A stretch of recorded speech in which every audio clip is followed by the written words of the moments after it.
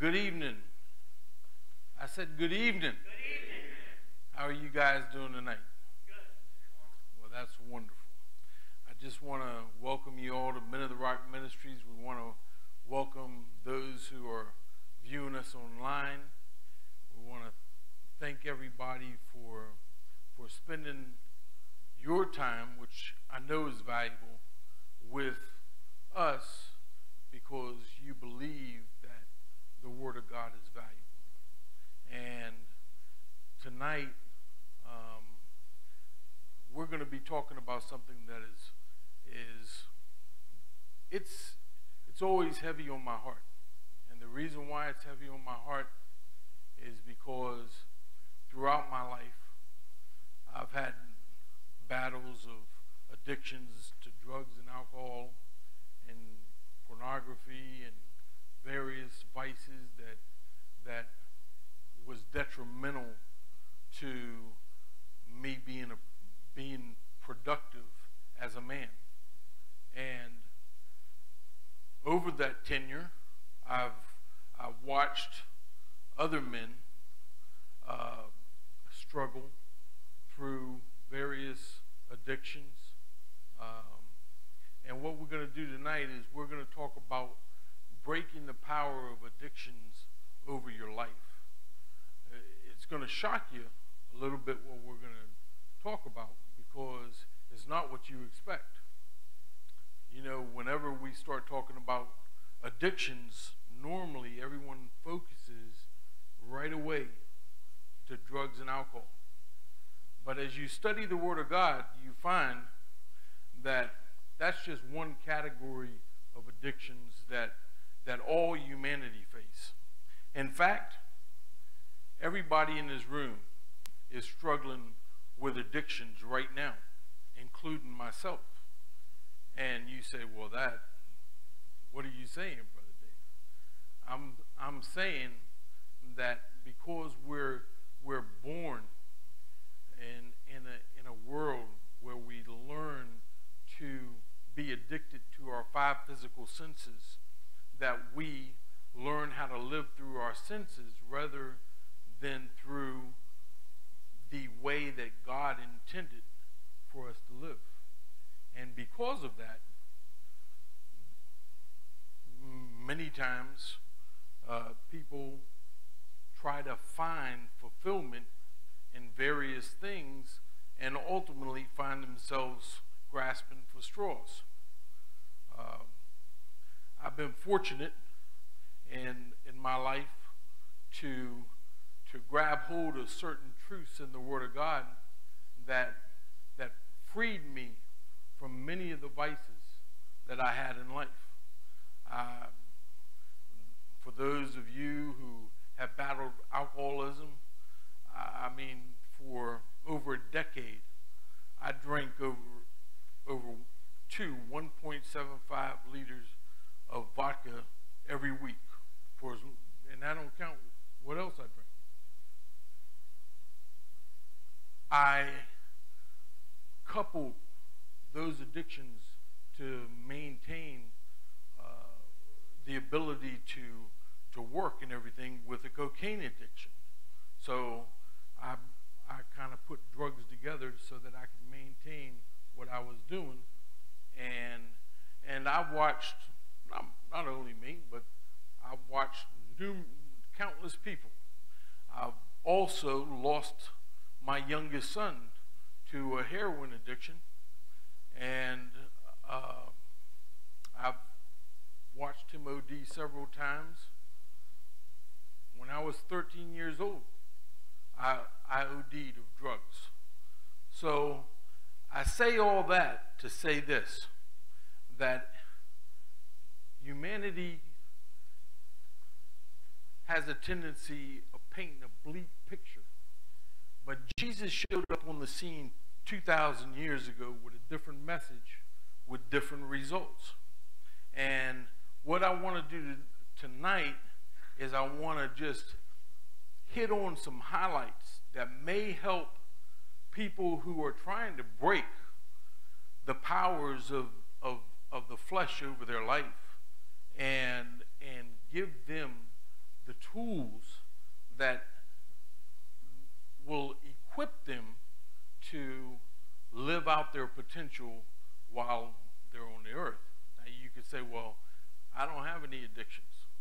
I guarantee you, you have addictions. Anything from anger to some, some people like depression. It amazes me how many people love to be depressed. It's it, the, the, the chemicals that are released in certain, certain uh, activities and behaviors. Uh, I watch people gamble, and they gamble their livelihoods away. I grew up where father was, my father was controlled by, by gambling. What was he? What was he controlled by? It wasn't the money associated with it. It was the the feeling that he got when he was at a poker table. So, in general, we learn to live for our feelings. And one of the things that I always am trying to get people to do, to understand, is that you were never created by God to live feelings. Your feelings, we live in a hypersensitive society. We live in a society that is, for the last 300 years in particular, philosophies has been introduced to society that has, has really done damage to people's ability to function the way God created them to function. Those philosophies teach people that, hey, your feelings are of paramount importance. Your feelings should dictate the actions of your life. And you see, I watch people every day live their lives like that. I lived my life like that for, for 48 years, really. Okay? What, how are we to live if we're not to live by our feelings? God created you for purpose. He created you to have a destiny governed by his desires for your life. Every one of us in this room and everybody looking at me online, you have a purpose for your existence. It's never, the end goal is never happiness. Happiness will come and go in your life. I, it took me a long time to, to get this. It took me a long time not to pursue happiness. I was a person who was always chasing happiness, and it was like the wind. I would find happiness for fleeting moments of my life, and then all of a sudden it would dissipate in thin air. And once I began to look at the Word and, and how God created me to function, I realized Jesus, when he walked the earth, he walked the earth to fulfill a mandate that was on his life. And everything that he did basically was designed to, to fulfill that destiny. He created you to fulfill a destiny. As long as you live for self fulfillment, you'll always fall short. Now, when we find ourselves in the height of trying to change our behaviors. There are a lot of times, man, people always will say, man, I talked to a gentleman an hour and a half ago. He says, tell me what to do, how to stop this madness. This is what the gentleman told me. And I sit there and I said, I can't give you in 20 words what to do. I said, but what we have to do is we have to turn to God's knowledge in order to begin to to get a hold of the real truth because it's in God's truth that we ultimately experience life the way He ordained it to be experienced. So, with those thoughts in mind, I want to start off with a word of prayer. If you guys will stand to your feet, wake you up tonight.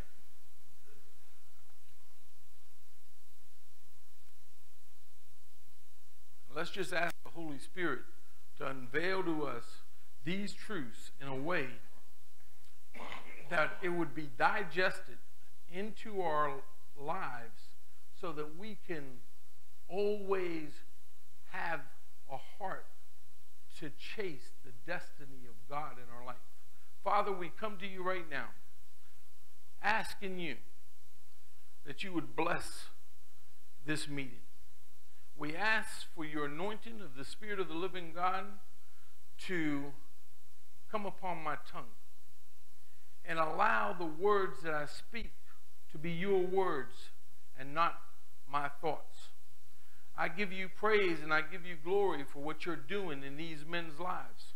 I thank you, Father, for revolutionizing their mindsets and causing them to experience life the way that you prepared before the foundation of the world for them to experience it. And I give you all the praise and all the glory and all the honor. In Jesus' name we pray. Amen and amen. Okay. I'm going to start off in Matthew 4 17. Jesus had just got done with the Mount, Tempta- Mount of Temptation. He just beat up Satan at his own game, and he had was getting ready to enter into the villages to preach and teach the kingdom of God. And he said something that his forerunner was saying to everyone. He said, From that time, Jesus began to preach and say, Repent, for the kingdom of heaven is at hand. He said, Repent, for the kingdom of heaven is at hand. There's two things that are operating. Number one, he's telling people that they need to repent because something's happening. Okay? As we go forth in this study tonight, you're going to see that the kingdom of God that became manifest when Jesus was raised from the dead produces the power in your life to overcome all sorts of behavioral patterns that was once so solidified in your actions. So he says, Repent, for the kingdom of God is at hand. The word repent is an interesting word we always hear it in religious settings. But the Greek word for repent really means to change your mind and to have the mindset that we got to go in a different direction than we're going right now. How many of you in your life have reached points in your life where you said, Man, I need to change? I did that this morning. I need to change. Okay? As you grow in your relationship with God, you're going to live in a perpetual state of change and an attitude of being conformed to who He created you to be in Him. I always tell you guys that if you want to see who you really are, allow the Spirit of God to unveil Jesus to you because his characteristics are really what you were created to function like. Okay? Repentance is a term that we lose a lot of people with. Because as soon as you start talking about repent, people shut you down. There's, you know, give you an example. The first message that was preached after Jesus' resurrection, Peter stood up at the day of Pentecost and began to convey the truth of who Jesus was, what he accomplished, and the fact that he was raised from the dead. And as he was explaining to them the, the, the, the basic message of what we would know it as the gospel or the good news of the kingdom, they, the Bible says that they were cut to the heart and asked Peter, what should they do? Peter responded, Repent, just like the Master, every one of you, and be baptized in the name of the Lord Jesus for the remission of sins.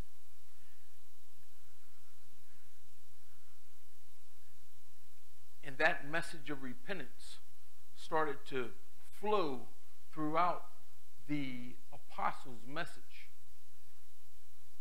The apostle Paul, probably about 12 years later, was on Mars Hill at the Areopagus, and he was getting ready to engage the philosophers of the day and he and tell them about Jesus of Nazareth who came to bring the kingdom of God to people's life. And he said something in the 17th chapter of the book of Acts. He said that times of ignorance,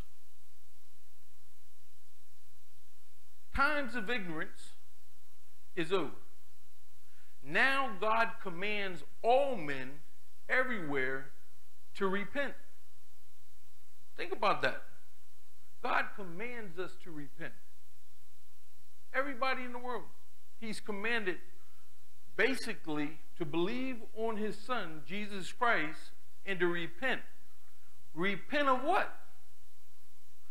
This is where it gets good. Most people when they're assessing their life. We're taught by materialists that the intrinsic truth about human beings is, is that they're good. And that basically we gauge how good we are and we compare it to one another. If somebody that is a child molester and a murderer is compared to a guy that works nine to five, gets off, he, he raises a little Cain, but he's not really as bad as the other guy, then he's really a good guy. But the standard for our lives is set in by our creator. Our creator is what we call holy.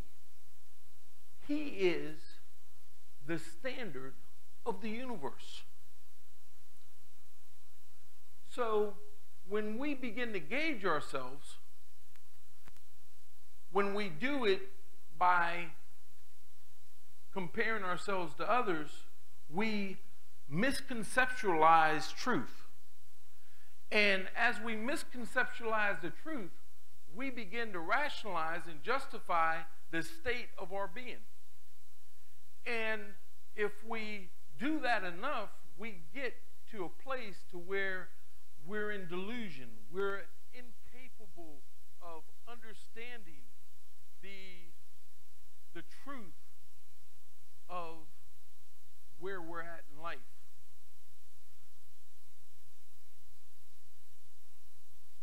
Learning the importance of comparing ourselves to the truth is a key a key factor in you growing up in life you growing up in God if you compare yourself to other Christians you could sit here and you could have a false realization of where you're at in the eyes of your relationship to God. God, the Bible says that we were preordained before the foundation of the world to be conformed to the image of his son, to the likeness of his son. The gauge for, for, for me as a man of God is, and that's why I spend a lot of time repenting. That's why I spend a lot of time trying to, to make corrections in my ideas of how I live life. Not in no, no way, shape, or form do I feel condemned. I feel like I'm being challenged by the one who put me here to maximize my potential on this earth. To me, it's not a bad thing to look into the perfect law of liberty and realize that if I lie, it's wrong. That's a good thing. If you lie and think it's not wrong, then you really have a problem. Or if you think that it's okay to, to be drunk and insubordinate and not listen to authority and all these other different issues in our life, you're living in delusion. Because what we find out is God's always right. God is the standard, man. God is the standard. The Apostle Paul was dealing with the church of Corinth. In the church of Corinth, there was some sexual immorality going on, and nobody was dealing with the issues. And Paul wrote them a letter telling them about themselves and telling them that they needed to exercise judgment in the area of when people are living wrong. And he wrote them a, a second letter, and this is what he said in 2 Corinthians 7 8 through 10. For even if I made you sorry with my letter, I do not regret it, though I did regret it. For I perceived that the same epistle made you sorry, or the same letter made you sorry, though only for a while. Now I rejoice not that you were made sorry, but that your sorrow led to repentance. For you were made sorry in a godly manner, that you might suffer loss from us in nothing. For godly sorrow produces repentance, leading to salvation, not to be regretted, but the sorrow of the world produces death. Hear what I'm saying. There's a there's something that we call I'm sorry that produces death in our life. But there is godly sorrow that produces true repentance in our life. I met that place in my life seven years ago where when I was at the point in my life to where I didn't want to live life no more. I had put everything in me that I could put in me. I could remember sitting in front of mounds of cocaine, testing, seeing how much, much my heart could take. And in all those situations, in all those self destructive modes,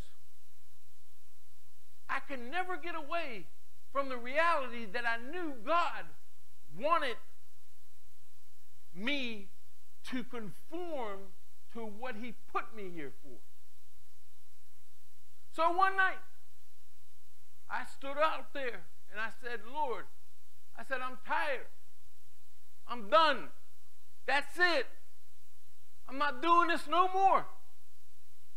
I had reached a point in my life where godly sorrow had come over my life to the point to where I gave up.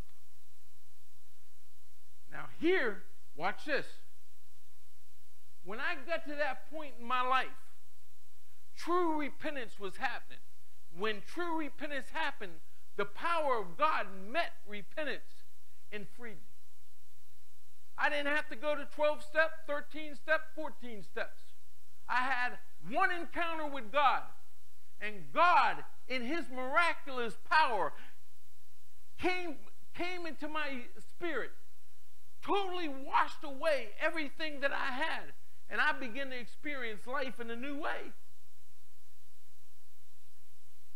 power met repentance. I'm telling you that the kingdom of God is present on the earth. And the kingdom of God is here to rid you of anything that's contrary to God in your life. He designed a system, He put it in place so that you could cure bad behaviors by something. All throughout Scripture, man. Hear what I'm telling you. All throughout Scripture, God used his prophets to, to tell people to do one thing repent. We don't like this and we don't like this anymore because the philosophies that have been handed to us through mediums that has inundated us they they teach us that if something makes us feel bad then it's bad. So now something that is good becomes bad because we're taught that if something makes us feel uncomfortable or, or bad, then not right. It's not love. Okay? Hear what I'm telling you. Because I love you guys and I love everybody listening to me. Trust me, I'm not banging nobody on the head because I repent all the time. Listen to me. When you live your life in Christ, you go through a process that we call sanctification. You go through a process of being purified by the fire of God in your life. And it's a good thing. It's not a bad thing, man. It's a good thing to be challenged by the Word of God. Now, I said I was going to surprise you tonight. And this is what I'm going to surprise you about. God wants you to be addicted. Everybody on this planet has an addictive personality. Some, some people say, oh, you've got an addictive personality. Everybody's got an addictive personality. They're addicted to something. Okay? We were created by God for dependency. This is big. It's big in a man's life because we're taught that we're to be independent and that we're to be self sufficient and that we're to be self made. And the truth of the matter is, is every single one of us is none of those things. That's why we spend our life trying to find fulfillment in something that leads us in the paths of destruction. Watch this. Once you come to you to a place of repentance in your life, you've got to realize you've got to replace your addiction with another addiction. Look at Ephesians 5 17, 18. It says, Therefore, do not be unwise, but understand what the will of the Lord is. And do not be drunk with wine, in which is dissipation or overflow, but be filled with the Spirit. Paul is saying, hey, don't get drunk with wine, man. Be drunk with the Spirit. Replace one thing with another because you're always a slave to something. You're never free in life. Hear what I'm telling you. You're always bound to the choice that you make every day in your life. Every choice that you make in life, you're bound to that choice. So you're never free of anything. Watch what the Apostle Paul taught in the sixth chapter of Romans. He said, Do you not know that to whom you present yourselves slaves to obey, you are that one slaves whom you obey, whether sin leading to death or obedience leading to righteousness. But God be thanked that though you were slaves of sin, yet you obeyed from the heart that form of doctrine to which you were delivered, and having been, been set free from sin, you became what? Slaves of what? Righteousness. So basically, the kingdom of God comes upon our lives and we trade we trade one set of addictions for a whole new set of addictions. I get up every morning and it, I am addicted to the Word of God. I'm addicted to the presence of God. I'm addicted to experience God in my morning devotionals. I want to be with God. Well, I'm addicted. I do it subconsciously because it has become an addiction. I am doing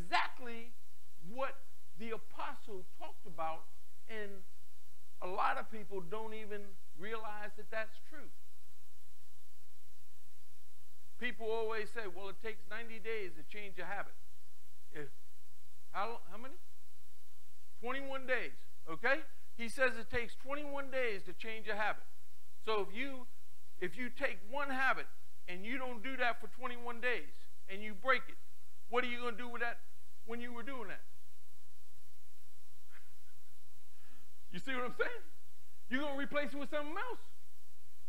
How many times people stop smoking cigarettes and they start eating candy?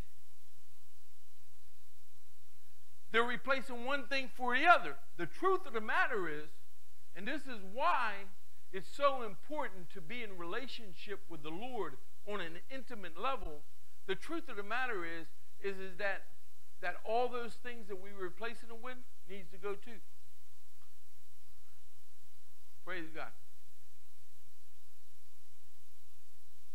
Learn how to be addicted to your Creator. Learn how to long after his knowledge. Learn how to long after his wisdom. The Proverbs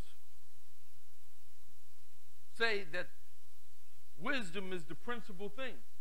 Wisdom is how to govern your affairs of life according to the knowledge of God. How many of you wake up during the day and say, Man, God, Teach me how to do this. Teach me how to effectively encounter life in a way where I'm not always tripping over myself. That should be a big time prayer, man. We've all hit wall after wall after wall in our life. So, what we want to do is we want to start to replace the world with Him. Replace the knowledge of the earth with the knowledge of truth. You can't, you can't live according to the ways of the world and produce heavenly results in your life.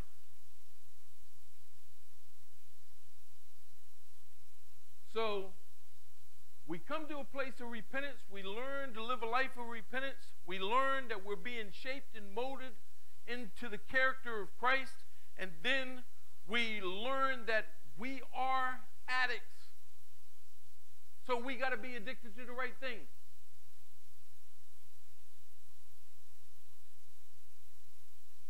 And after that, something has to happen. This is the most exciting part of this session. I want you to go over to Luke 4:16 through 21. And we're going to bring this home. So he came to Nazareth, where he had been brought up.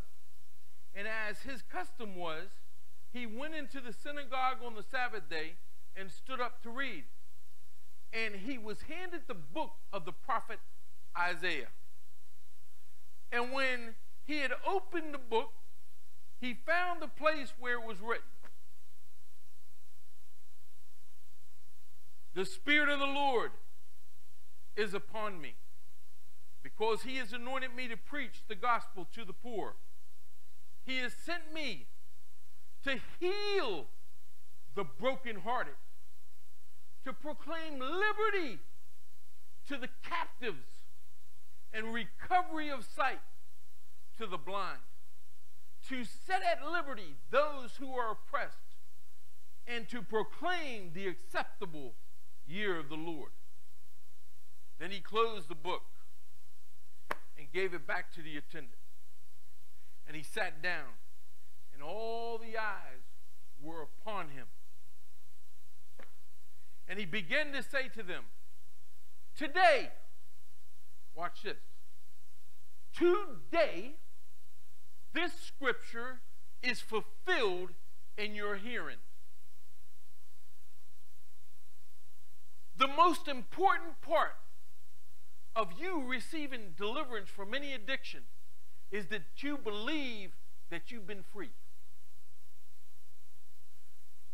We, we spoke the last session about the importance of believing the realities of God's truth before they manifest. Every time I hear somebody say that I'm a drug addict, or I'm an alcoholic, or I'm this, or I'm that, or I'm immediately, I think to myself, going to have a, to have a long day because they believe that's who they are.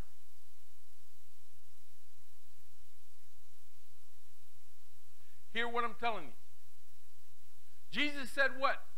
Whatever we believe in our heart and confess with our mouth, we're going to have what we say, right? That's that you might as well pin that up on your mirror in the house and look at it every day. Whatever I believe in my heart and say with my mouth, I'm going to have exactly what I say. That should be a driving force in your understanding for life because it's a spiritual law that cannot be negated.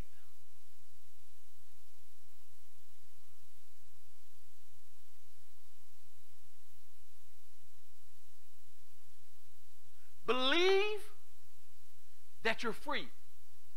Jesus said this. He said, The Spirit of the Lord. Now, I want you to picture this day. He's in his hometown of Nazareth at a synagogue. All these people grew up with him. They all knew him as the carpenter's son, Joseph. He stands up just to read a verse of Scripture. And he says, The Spirit of the Lord is upon me. He has anointed me to preach the gospel to the poor. He has sent me to heal the brokenhearted. Is anybody brokenhearted? Is anybody brokenhearted? He said to proclaim liberty. I'm come here to give you liberty if you're captive to something. He says to set at liberty those who are oppressed and to proclaim the year of Jubilee, of freedom, freedom from the debt of sin, freedom from the debt of pornography, freedom from the debt of alcohol, freedom from the debt of drugs, freedom from the debt of anger, freedom from the debt of wrath, freedom from the debt of laziness. It happened that day in Nazareth. He said, In your ears, this is fulfilled in your hearing. If I could get people to believe the truth, things would fall off of them like nothing. My job as a minister of the good news of Jesus Christ is to tell people that they're free, not that they're going to be free. Not that if we if we do this and we do that, it's already happened. It happened 2,000 years ago. And if you're not free, it's because you haven't entered into the revelation of truth that came with the good news of Jesus Christ and his kingdom. When Jesus walked up and he saw people that was bound by a demonic spirits, he didn't say that they, they had PTSD. They, you know what he said? He said he didn't relegate it to some because psychiatrists and because of people who are in the sciences can't explain things. What do they do? They put conditions on people. The truth is, if Jesus of Nazareth was standing before you today, he would say, Be free in Jesus'. Be free. I come to set the captives free, he said. You're free. He who the Son sets free is free. You're free from the bondage of, bondage of sin, sickness and disease and death. Take hold, man. Listen to what I'm telling you. Emphysema. I don't care what malady you're experiencing. The power of Jesus Christ is here to heal. Because all we do is receive something that already happened. We receive what's already occurred. You don't ever, God doesn't ever save anybody. Do you know that? We say, well, we just believe in God, we're gonna, this person's gonna get saved. The truth is that he already saved them 2,000 years ago. They got to get revelation of the truth. That's the truth. He ain't never going to die on the cross again, and he's never going to be raised from the dead again. That was a one-time event. And he provided enough power. When Jesus was raised from the dead, he provided enough power at that moment to cause all of history to be conformed to his image.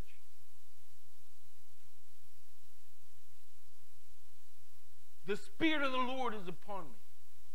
He's anointed me to preach good news to the poor, to proclaim liberty to those who are captive by your five physical senses, man. Wake up tomorrow morning, look in the mirror, and say, Listen to me. You're going to do exactly what I tell you to do. I'm governed by the Spirit of God and I am what he says I am. And I believe that today I'm going to be obedient to my Father in heaven. I'm going to control the words of my mouth and I'm not going to just say anything that I want to say. I was in a situation today. I was in an office. And man, a conversation was happening and I went to speak. And immediately it was like a door trap. Pow! It just stopped. I said, "Thank you."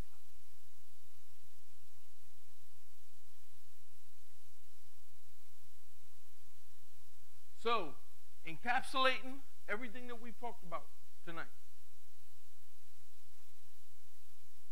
Repentance is a positive. Repentance, being sorry for not doing what your heavenly Father would want you to do, that's a positive thing, man.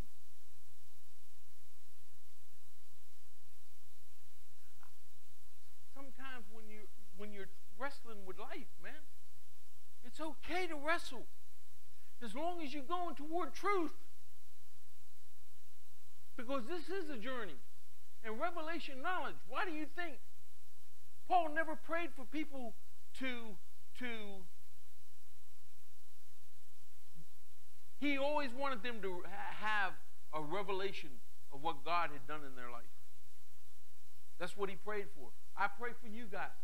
When I pray for you, I'm always praying that you'll know what happened 2,000 years ago.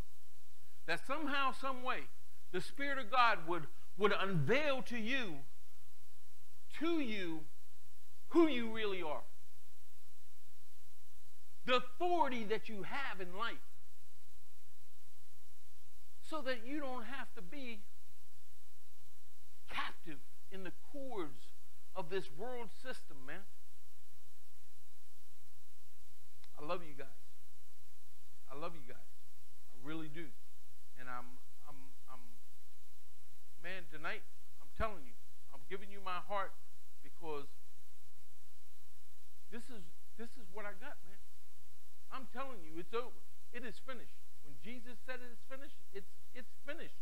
It's no longer. You don't have to be bound anymore. Believe it to the dictate. When you believe that angel, all the wrestling is done. When you really believe the truth about yourself, not the characteristics that have been implanted by the God of this world in causing you to feel like you're never going to get it right. Stand to your feet, man.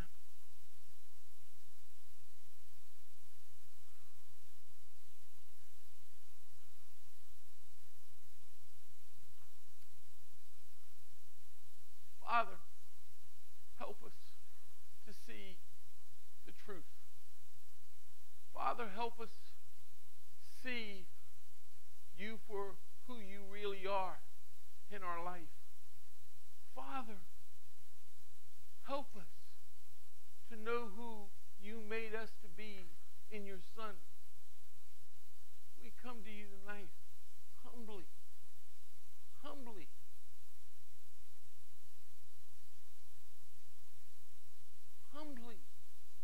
before your throne of grace to obtain mercy in the time of need.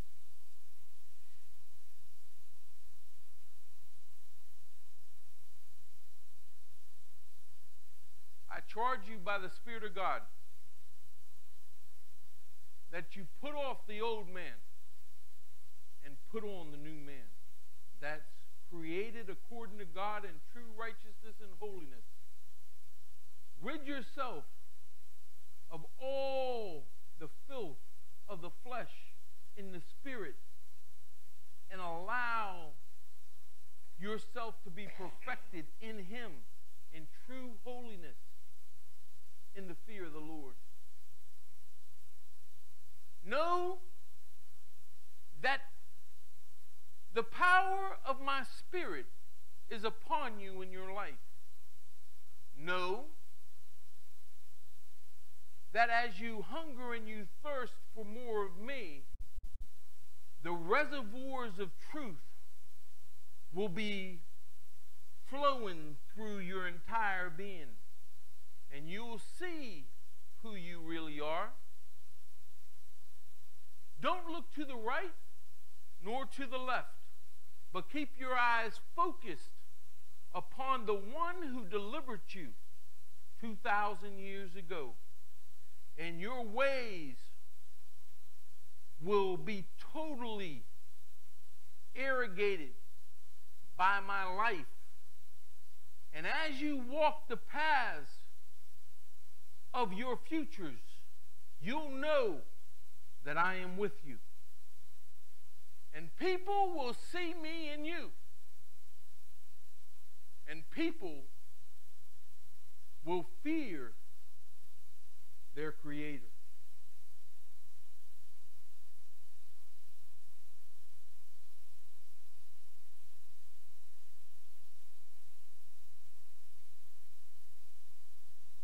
I want you to lift your hands to the air and just worship Him in your own words. Father, we just worship you tonight. We worship you as men that have been consecrated to the cause of Christ. We come to you tonight just worshiping you, magnifying you for being who you are and creating in us a new heart and a new mind. Thank you, Lord for your deliverance tonight. Thank you that a spark has ignited each of us that will cause us to have a new perspective on the challenges that are in our past. We give you all the glory and all the honor. In Jesus' name we pray. And everybody said, Amen. You guys fellowship some tonight.